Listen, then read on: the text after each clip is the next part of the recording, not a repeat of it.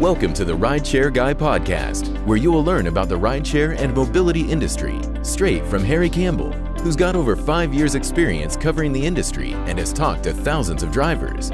There's no better place to stay up to date, entertained, and educated. So let's dive in. So, Michal Naka leads partner products at Ride Report, working directly with mobility providers and cities around the world on mobility management and compliance.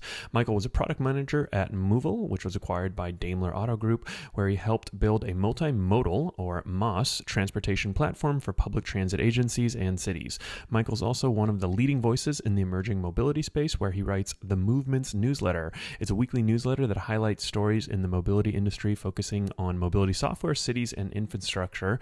And I'll also add that it's one of the only uh, few newsletters that I read each and every single week. So, congrats on that, Michal, and uh, welcome to the podcast. Thank you, Harry. Uh, that's a real honor to hear that we're in the top newsletter selection for you.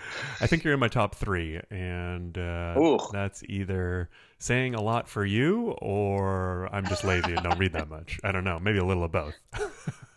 yeah, Eh, most likely, but yeah. So no, I, I, do I do love your newsletter, and uh, one of the reasons why I wanted to have you on is because of you know I think that you have this in depth knowledge in the scooter industry. I know that's one of your passions, but also just generally, I was thinking about it that wow, every week for you know how long have you guys been doing the newsletter?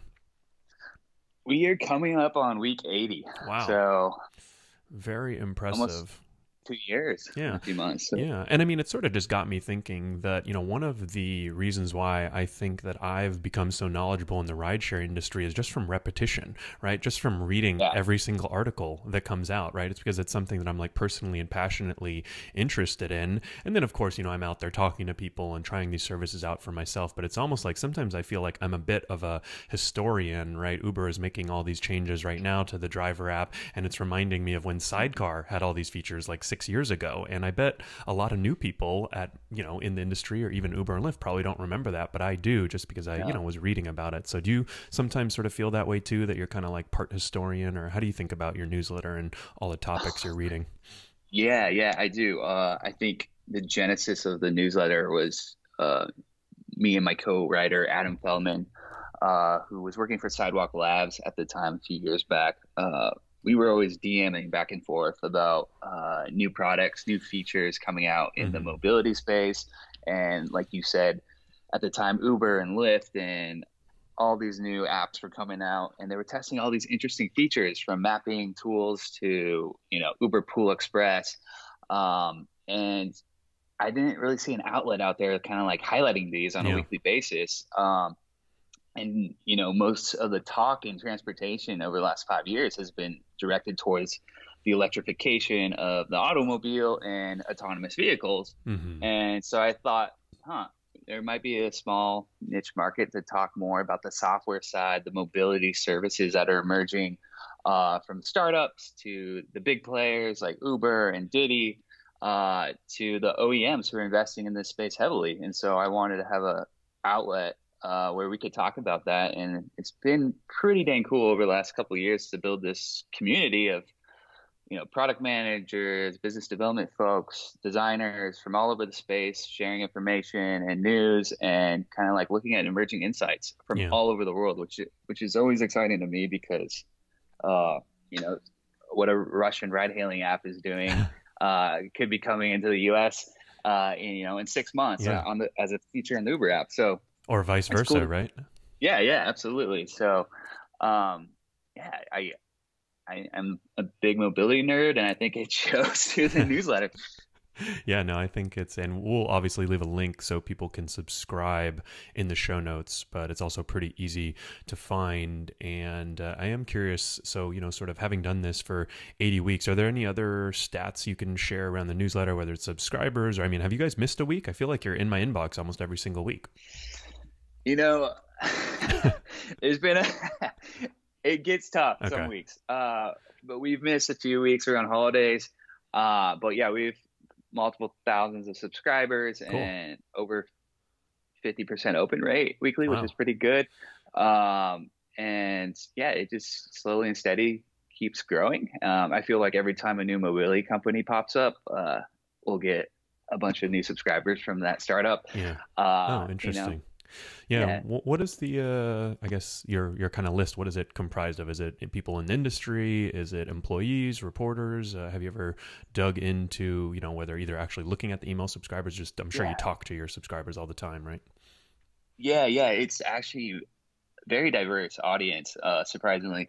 Um, you know, it, it, started off really heavily on the ride hailing and mapping side. Uh, so the big mapping companies and ride hailing companies, but it's really diversified over the last year.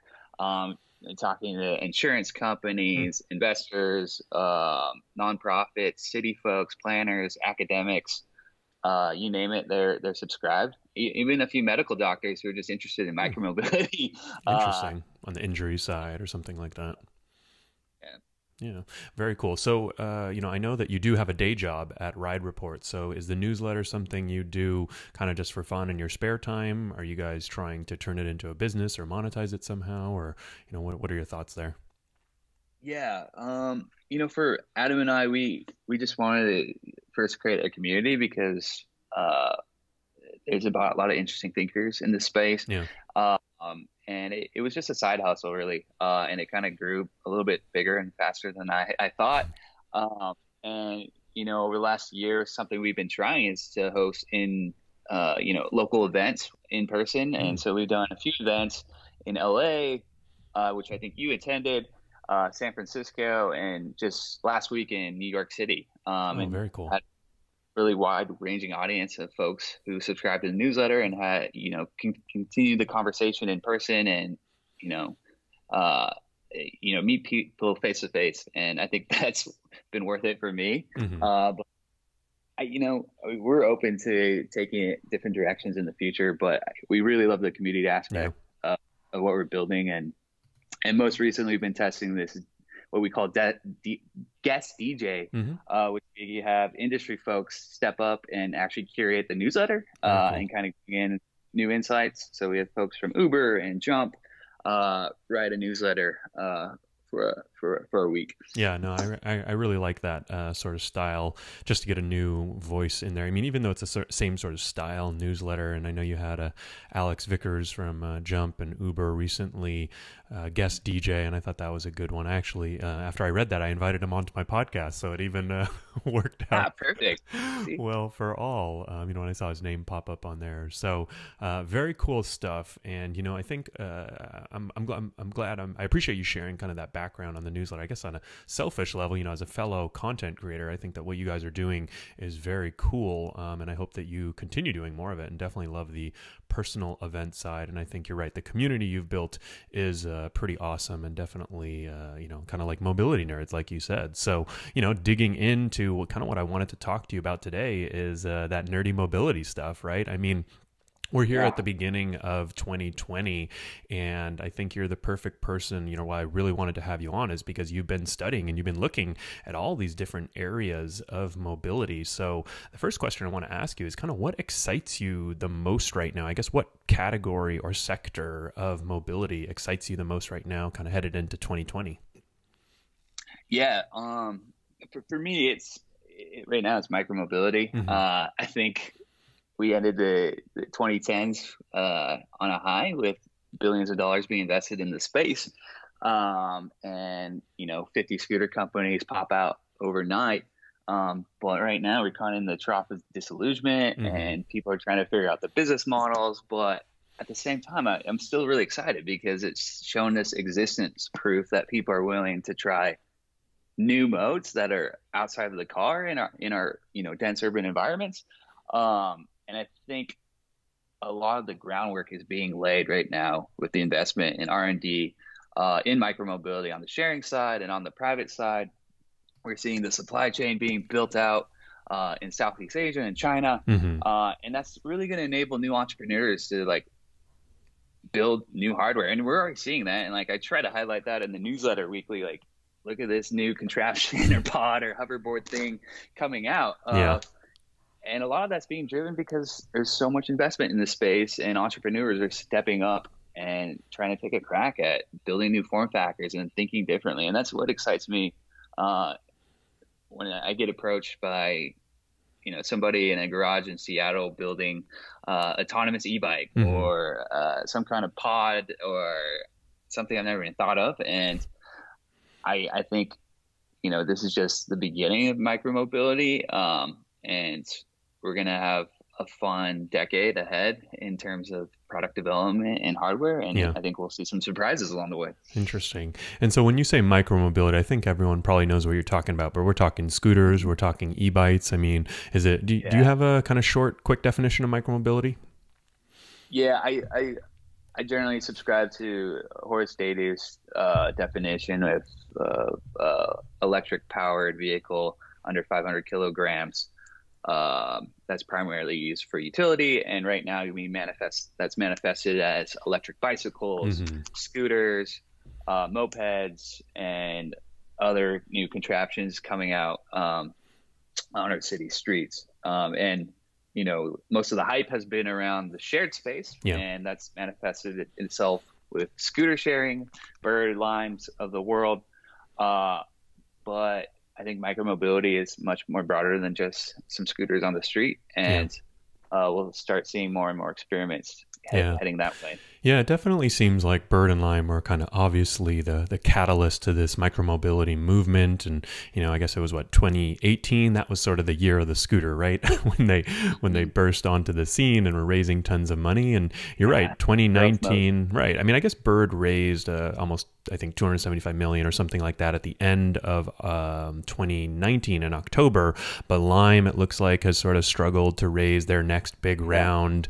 And kind of when I compare that to the growth I saw with Uber and Lyft days, right? Like these companies were basically always raising money, never had issues there, and there's higher sort of some right higher valuations, and so it, I think that it's hard to disagree with you there. But it sounds like the reason why you're excited isn't because of the birds and the limes; it's because a lot of the yeah. smaller, the newer uh, players, and and I think I tend to agree. I mean, it feels like I'm seeing, you know, definitely not the same kind of hype at the with the big boys, but at the bottom levels, you know, like I see, I, I follow um, on Twitter, I follow this uh, blog called Electrek, which is more of a Tesla blog, to be frank, and they're a huge Tesla blog. But now they're like, I see them reviewing scooters and reviewing bikes and reviewing skateboards, and I see The Verge doing similar. And actually, you know, all these big outlets are like reviewing. You know, they're they've always covered yeah. Bird and Lime, but now they're like reviewing all this these other new modes and all, all of that. Right? It's beyond scooters, though, right?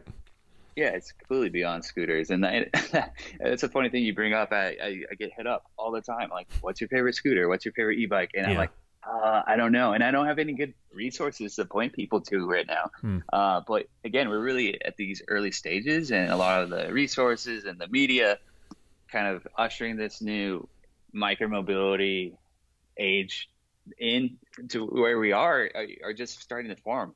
Uh, and so, uh, yeah, getting really excited about uh, empowering startups and entrepreneurs in this space and not just at scooter sharing, but like yeah. media outlets, uh, yeah. infrastructure, uh, hardware, uh, apps, software, uh, network layer that connects all these vehicles. It, it's some exciting things in the works, and sometimes we can just talk about the big players and their yeah. troubles like all the time, but there's a lot of people, smart people working in this space, and more capital being invested every day.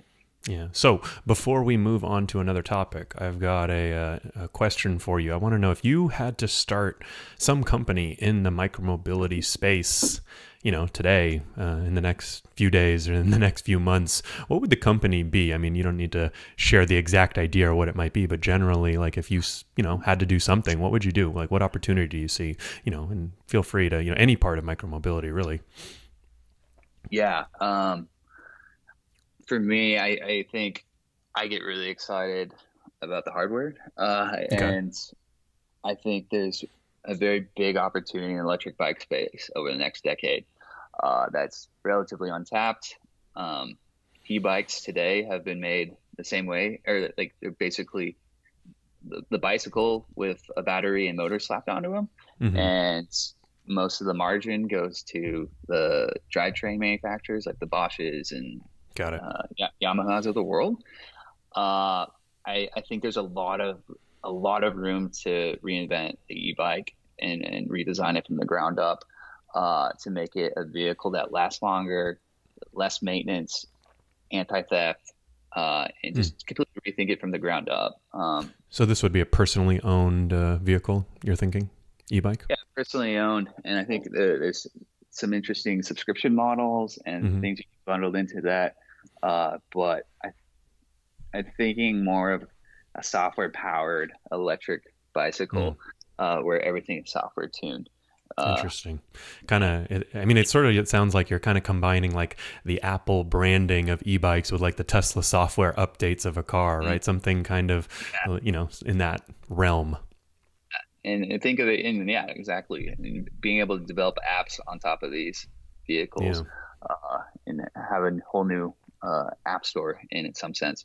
Uh, but yeah, I think that that's a space to watch for sure, and uh, I would definitely start something in it uh, one day. But Cool. Yeah, no, I like that idea. And if anyone listening right now ends up uh, doing that, uh, they can maybe send a, a small royalty to you. May, most of it can go to you and maybe some to me since yeah. I'm interviewing yeah. you. All right. Cool. Yeah. So micromobility. All right. So that I think definitely is going to be a big uh, theme of 2020. Is there another uh, theme? I've, I've got a list over here. So if you're not ready, you just let me know. But is there another theme that you're sort of uh, maybe not excited about necessarily, but um, something that you think is going to be big or something you're thinking about in 2020? Yeah. I, I think of one theme ending the last decade is we've seen this divestment or uh, pull out from a lot of the large automakers in mm. shared mobility services. Okay. And that's really been the German automakers pulling back out of North America, uh, our backyard, uh, with the car sharing services that have yep. been running for you know nearly a decade. And uh, right, that was what Car2Go and yeah, Zipcar Re- and well, Zipcar's still operating in the U.S., I guess. yeah, yeah, Car2Go and ReachNow. Okay. Uh, pulling out of North America completely. Um, and I, I and then you have Getaround, which is SoftBank funded peer-to-peer car sharing uh, platform, actually doing reducing headcount and layoffs hmm. lately mm. as well. Um, but it's a little bit of a discouraging trend because I think car share is a vital part of the mobility ecosystem.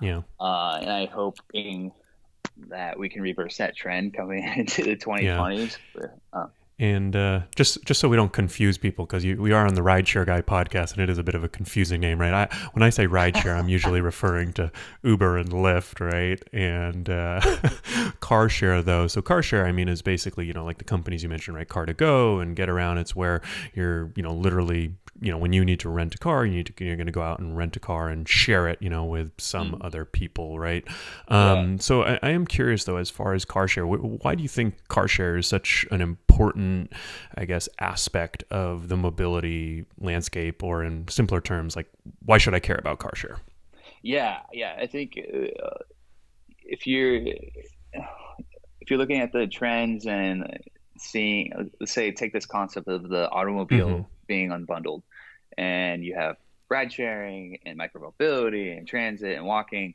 Uh, I think uh, cities and our urban environments need to have strong mobility services. Uh, yeah. And car share is one of those pillars uh, that solves a specific use case for people that ride sharing can't do. You know, I can't take the ride share or Uber to uh, the mountains or right. go to the beach. Well, I could, but you know, yeah, people definitely do, but it's not. Uh, it's it's somewhat frowned upon by drivers. Yeah, Let's just put it yeah. that way. uh, and so, I, I think car share solves some specific jobs people hire an automobile or like a car for. Sort of uh, like it, it, It's like those infrequent but big jobs. Like the reason why you keep the car around is for that one time a year. Yeah, you know that you need a Christmas tree. yeah, and like I, I just anecdotally talking to people in DC and Toronto mm. and Portland, like people who relied on these services are now at the auto dealers buying new cars because yeah.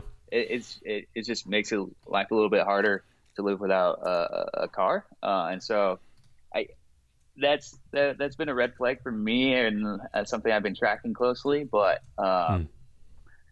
yeah, I, I, think it leaves opportunity for cities to step yeah. up uh, and and new private entities to do joint partnerships for providing a car share service for for people. Yeah. Do you think maybe the car share companies were just a little too early? I actually remember on one of the first blogs I started before the rideshare guy, I remember I reviewed uh, Car2Go when I was living in San Diego, and I loved the service. Um, yeah. It was great. I think they even read my post and sent me like $50 in free credit, a nice little bribe, which um, totally uh, was great. I was like, I love bribes. and, yeah, um, yeah. you know, I think. Uh that was a long time ago, though, yeah, right? Like these Car2Go and Zipcar yeah, no, companies launched a long time ago. I mean, why would you pay? You know, if you can get someone else to drive you around in an Uber, you know, kind of why would you um, pay to drive yourself? Is sort of what I've always thought in regards to car share. Yeah. But I do agree with you on kind of like how important it is to getting people to unbundle the auto. Yeah, I think they, they were early. Uh, I think one of the challenges it is was or is is that uh, these car share companies were actually subsidiaries of large automakers. Uh, mm-hmm. And if you look at the automaker business, they're not operations companies. Like they, yeah. they're good at is building cars at scale, uh, yeah. delivering them to dealers, um, and financing them. Uh, and then, but when you put your own assets on the ground and mm-hmm. you're trying to generate revenue off them, it's a totally different business and the, the yeah. set of competencies. Uh, and I think it's another challenge was with the actual vehicles themselves, like the mm. these standard automobiles and Mercedes, BMW, smart car, Mini Coopers. They're they're made for personal ownership. They're not made to yeah. take wear and tear and drive 300 minutes uh, uh, during the day. Um, and you know, I think it's combining all these challenges together just made it unsustainable business to yeah. run. Um, and so, yeah, I think the OEMs have also realized that mobility services are just really difficult to run and really difficult to make money. And if Uber and Lyft stock prices are any indication, uh, they're kind of retreating back and like, all right, we're going to refocus on our core competency of building vehicles rather than putting out a thousand in a city and hoping to make money off sharing them. Yeah. I mean, I guess it's looking pretty good to be a, a, a Tesla, you know, OEM type right now. Yeah. I think their market cap just hit hundred billion dollars. Yeah. I want I want to say. Yeah. So you know, you know, it's interesting because I do totally agree with you, and I can kind of even share a personal experience, you know, kind of with the car share, um, or you know, just sort of these OEMs. I think kind of being heavily involved in the car share space, and maybe just you know, there's some key, I guess, kind of aspects of running that business that either they didn't have the skills for, or they were sort of trying, you know, kind of didn't have the greatest product market fit I remember um, we did a huge marketing campaign with Ford at one point where they wanted to put these Ford Fusion hybrids in front of a bunch of Uber and Lyft drivers and sort of see if they would go out yeah. and buy any. And that was sort of the gist of the campaign. But I remember when I asked them why they chose that car, they told me, oh, it's because we have a bunch coming off of lease, right? And yeah. so it wasn't, it was more like, hey, we had all these cars.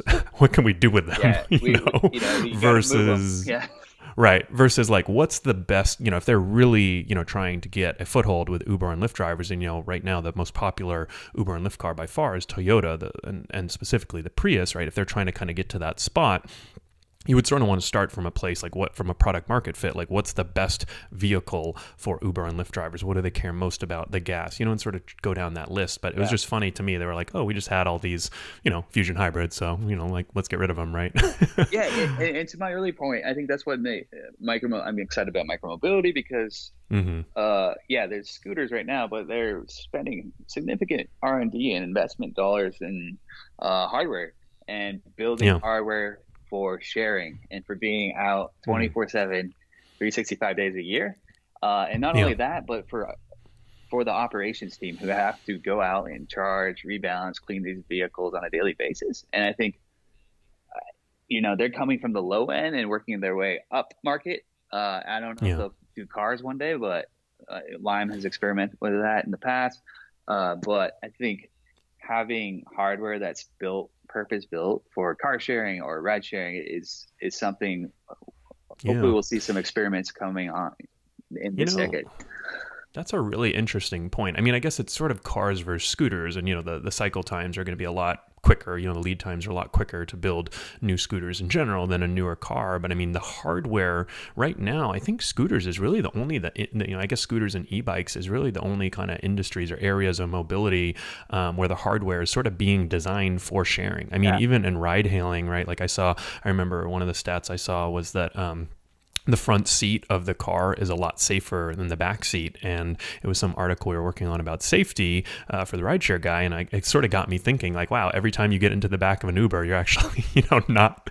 you're a little bit less yeah, safe yeah. Um, than being in the front seat. And it's just because, you know, now, and at some point, maybe car manufacturers, the OEMs will design, you know, like the perfect rideshare vehicle. But, you know, there is stuff like that. I don't know. What do you think about like kind of that hardware yeah. design? I mean, I guess rideshare, car share, um, none none of these uh, none of the hardware there. Uh, do you think it's just because it's cars and it's harder, or what do you think? Yeah, because auto manufacturing is all about scale, and you have to guarantee yeah, you can move tens of thousands of vehicles to you know set up tooling for in a supply chain for the vehicle. Uh, I think that's why a lot of OEMs have been hesitant about doing purpose built uh, vehicles for ride sharing and, yeah. and, and it's just not worth it for yeah, them. Uh, but I'll say that they're starting. You're starting to see VW experiment with custom, you know, bands for for ride pooling or car sharing and ride sharing.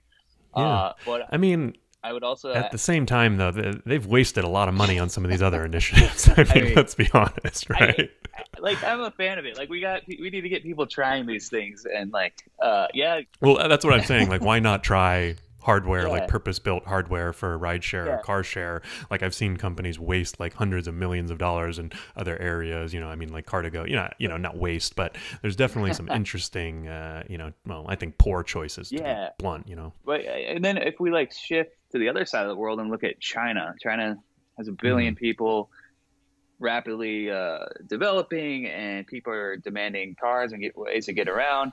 Uh, yeah. I think there's some interesting auto manufacturers and vehicle manufacturers there who are building, who have, mm.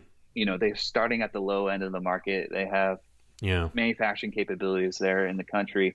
And they, I, I know Didi has said in the past they they're working on building purpose built uh, vehicles for ride sharing in the country. Yeah. And I think, you know, one place to watch is definitely the Chinese market over the next five years. Mm. Uh, and seeing if that actually exports to other markets like Europe and North America as well. Yeah. That's a really good point because I think you and I were both at CoMotion, yeah. and I don't know if you saw this vehicle there. I think it was called the Lily or something yeah. like that. But basically, what it was was a small two seater electric car and uh, maybe it wasn't the perfect uh, rideshare vehicle but you know i could sort of imagine something that's more of like a tri setup with a driver in the front yep. and two in the back that's small and that's electric and it sort of got me thinking like wow you know, there, I mean, I mean, I think there's a lot, and I think you're right. I think maybe the China mar- Chinese market is the one to watch for a lot of that type of hardware yeah. development because you know I haven't seen any of that in the U.S. and it, it, really, you know, I was talking to a couple actually young entrepreneurs who had who were kind of pitching me on ideas that they had in rideshare businesses, and like a couple of them, I was thinking to myself like, wow, this is actually a pretty damn good idea. Yeah. Some of the stuff that they were talking around around electric and you know these smaller shared vehicles, you know, because as, as a Uber and Lyft driver, I mean, almost every single single ride is only one passenger or sometimes two passengers. Yeah. You know, there's the Friday, Saturday, Saturday nights where it's more, but you know, even then, there, it seems like there's a lot of opportunity for that um, purpose. Yeah. I, I, like that term, purpose-built uh, hardware. Is that what we called it? You called it? Yeah, that's that's. I, I don't think I coined that term. Who'd you, who'd you steal that yeah, from? Someone out there. Thank you, whoever you are. But all right. Uh, yeah, watch the. We'll, we'll get some market. tweets for that one. okay. All right. So, I mean, I guess even maybe, you know, I don't know if there's anything to expand there on the Chinese market in general in mobility. But one thing you said earlier that I really like is some of these trends, you know, I, I think traditionally, like especially with rideshare, sort of started in the US and then one, two year, three years later went uh, global around the world. And I feel like if I'm an entrepreneur sitting in one of these other countries and just sort of like casually paying attention, you can have like a huge head start yeah. because, you know, vice versa with like micromobility kind of started in China yeah. and then came to US. So it's really interesting yeah. to see how, you know, two, you know, I, I guess China and the U.S. Is, are very different in a lot of ways. But I mean, you know, you can kind of really like get that geo arbitrage, right? Just kind of by paying attention to what's going on. Are there any other regions of uh, the globe that you sort of have an interest in? And you know, I know that I know the world's a big place, so we don't have to go over everything. Yeah. But maybe if there's one other region you had in mind or something you've been watching. I, I think one other example is uh, India, another high population mm-hmm. country. Uh, they were looking at the micromobility market, uh, and obviously electric scooters aren't the best on on the infrastructure there, but uh, there's a company there called Bounce Share uh, yeah. and, out of Bangalore. And I just saw a stat recently from their CEO and founder that they they just crossed a hundred thousand trips per day wow. with, oh, wow. with mopeds. Uh, or hmm. well, like it's kind of like a beefier scooter. Um, yeah. But yeah, I mean that's a staggering number. Like if I if you could do that in a U.S. city, that it'd be incredible. But I, I think yeah. watching the Indian market is fascinating. A lot of entrepreneurs there. They have some manufacturing capabilities as well, and just a large population of people to serve. Yeah, definitely. Do you think that as far as the market dynamics, it's important to sort of have the right kind of population on the consumer side, or more important to have kind of the right entrepreneurs, technology side, or is it kind of a mix of both? Uh, you know, I, I bias towards entrepreneurs and technology side. I think I really mm. think uh, they can kind of like make it work regardless of the market. Make it work, and then you know, uh, consumption go go to the other and, markets, drives yeah. demand, and mm-hmm. you know, regulators and cities can obviously set up uh, a, a, regulatory friendly environment for for people and entrepreneurs. Uh, but at the end of the day, it's like uh, consumer demand like the regulations change yeah. consumer demand, and that's why over the last 18 months of like say scooter sharing or in bike sharing, you know, uh, at the state level and city level, rules have been changing to open up uh, markets for scooter sharing bike sharing, and cities are starting to quickly adapt to the realities of scooter sharing. Uh, you know, by putting it, changing parking spots and making them um, basically docks for these electric, small electric vehicles. Um, and so I, I'm bullish on getting more entrepreneurs out there and enabling them into, mm-hmm. in mobility. And I think one of the challenges and one of the things I'm afraid of is like having too many regulations and, and too many constraints, mm. and because it a lot it, it pushes a lot of people away uh, from the space where we definitely need more more yeah. more entrepreneurs and builders uh, thinking about it. Um, well, uh, well, Michal, I've got bad news for you. Uh, yeah.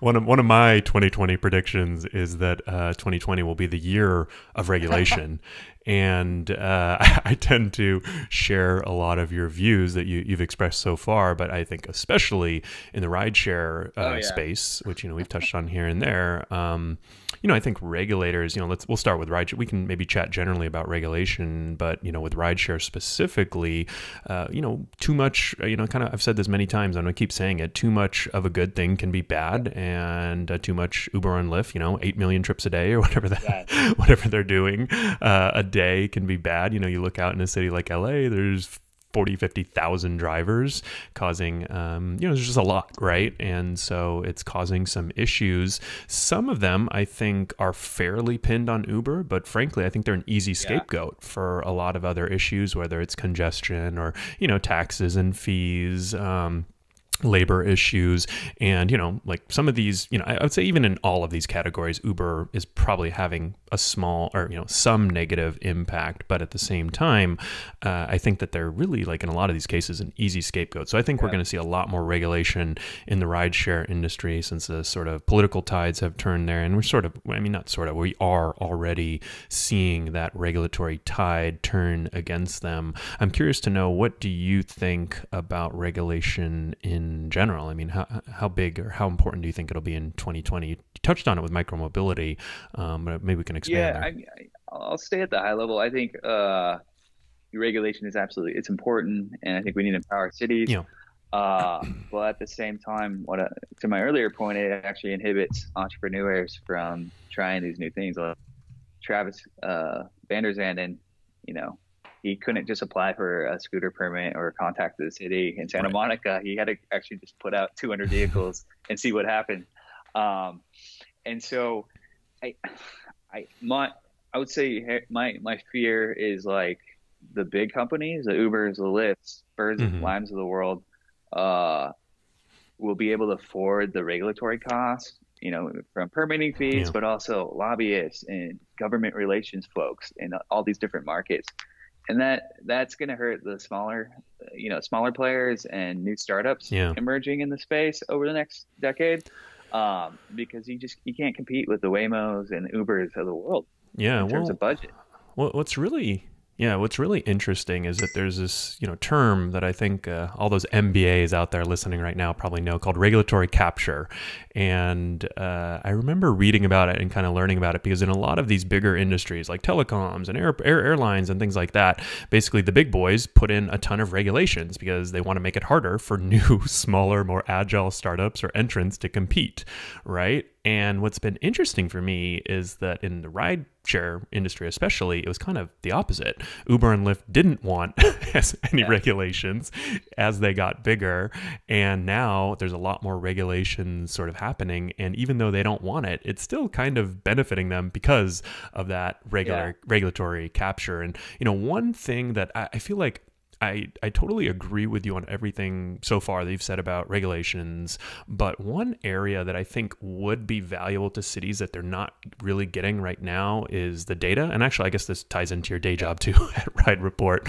But the more people, you know, I've been interviewing a lot of people kind of involved in the policy side and uh, the public transportation and all that on my podcast lately. But it does seem like, you know, the more like data won't inhibit a lot of the good aspects of you know like the entrepreneurial spirit and everything you know all of the good of these young entrepreneurs isn't really inhibited by providing data to all of these cities and so i'm curious to know um, you know i know that's a whole yeah. other topic but that's like kind of one area where i feel like I think cities and you know regulators that that's kind of seems like a good starting point to me to like make demands. There. Yeah, absolutely, and and I think in my shared micromobility over the last twelve months, eighteen months, we've seen that pl- start to play out uh, with the formation yeah. of the mobility data specification, which was actually designed for autonomous yep. vehicles uh, and then repurposed mm. for scooter sharing, bike sharing operators. Um, and you know, it's been really cool to see all these operators actually they are sharing data with the cities, uh, where vehicles are, mm-hmm. where where where trips are yeah. occurring.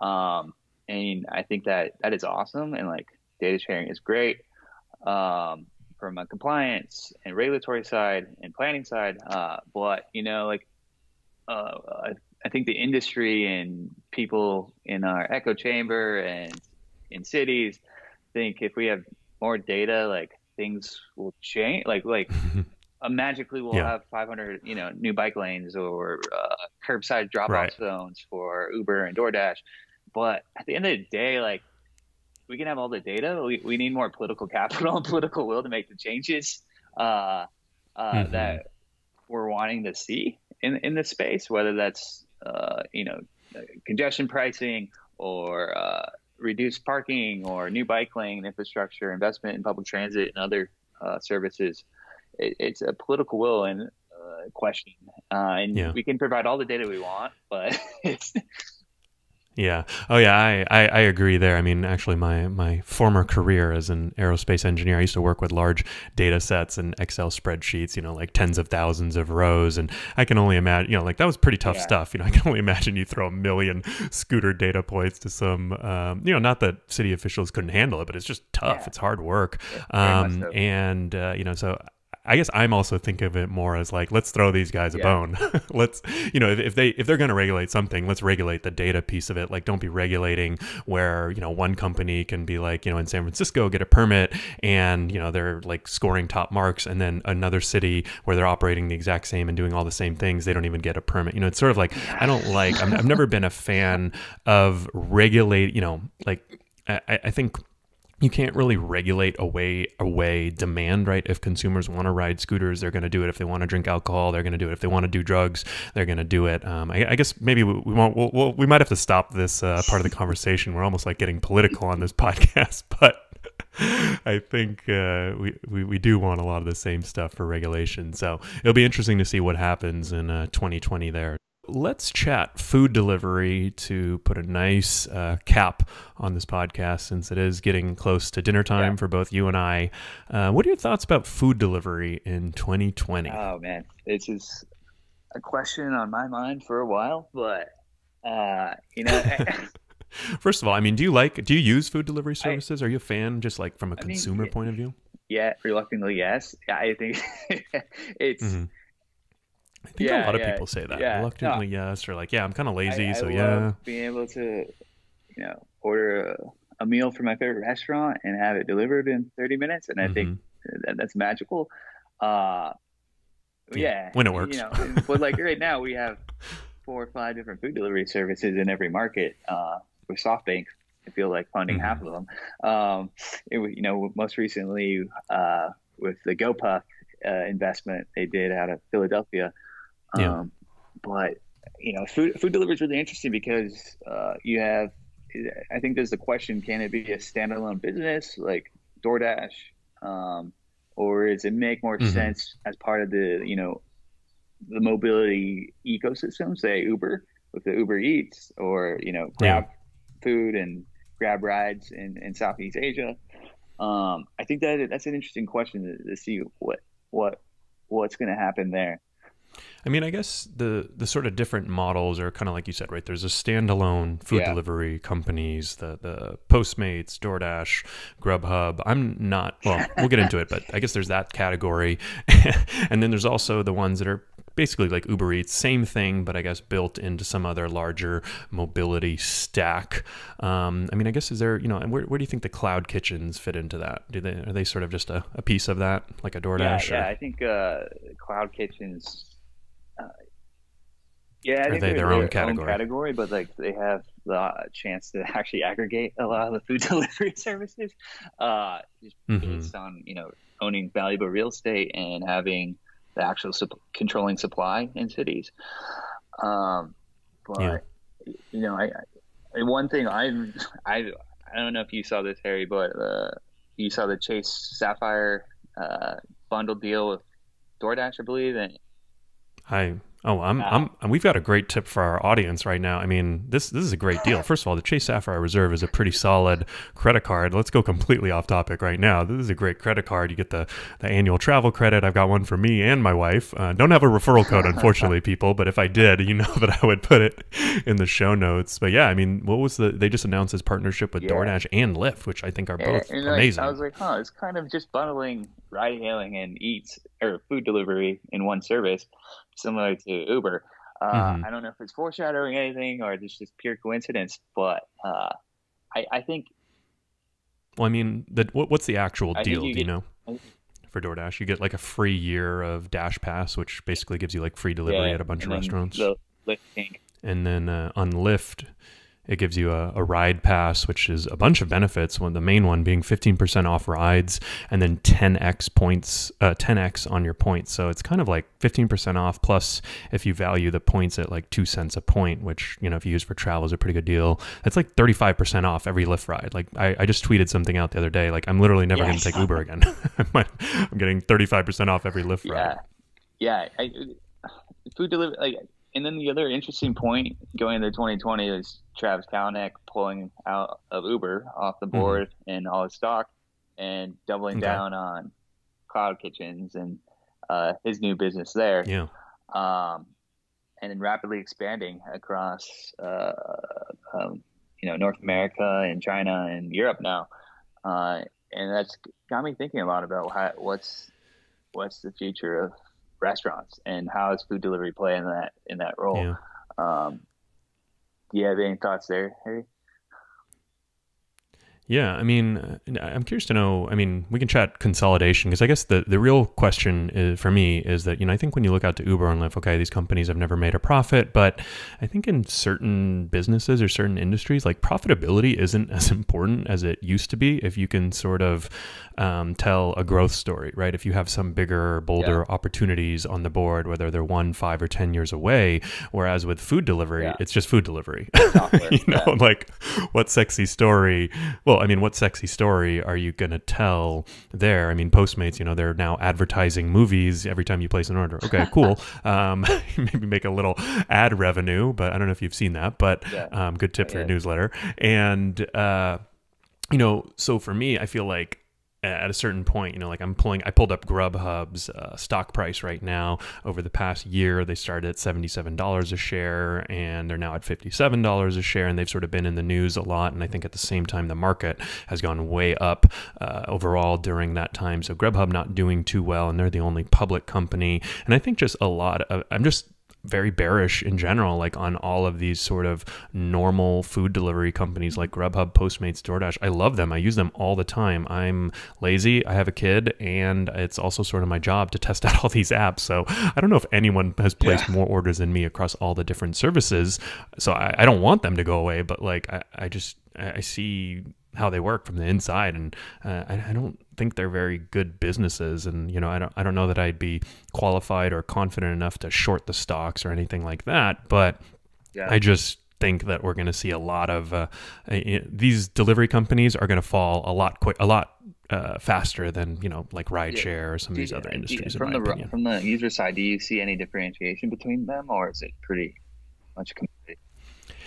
I mean, the thing is, you know, I, I, mean, they all have different ways of yeah. calculating the fees and, you know, calculating this and that. And, you know, but when one tries a dash pass, then the other tries a dash pass. Now, Instacart, DoorDash, Postmates all have this unlimited plan. And, you know, Postmates will go out and test this thing. They're testing another thing right now where you can kind of guarantee that your order gets there in 20 to 30 minutes for an extra $2. Okay, cool. You know, DoorDash, if that works, they're all going to copy that, right? So I just, uh, I, I, think that there's room, there's going to be room for food delivery players. Uh, I just, don't know that uh, I am fairly confident that there aren't going to be four huge ones. And I don't, I don't know which business model work best. We, we have a, a, really interesting interview coming up with a uh, the CEO of a company called Cluster Truck that is doing a, sort of a full stack delivery, kind of like everything from cooking the food to um, you know, kind of like getting the app in people's hands and uh, using their own delivery people. So that that'll be a, a good uh, episode to listen to if anyone's interested in the food delivery space.